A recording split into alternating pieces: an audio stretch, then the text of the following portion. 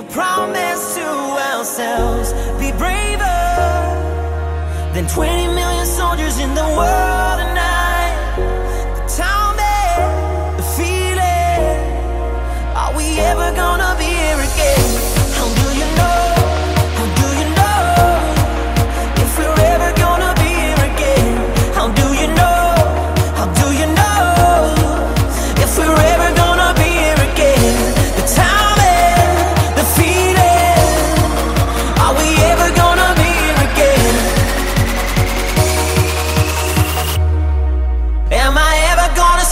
again.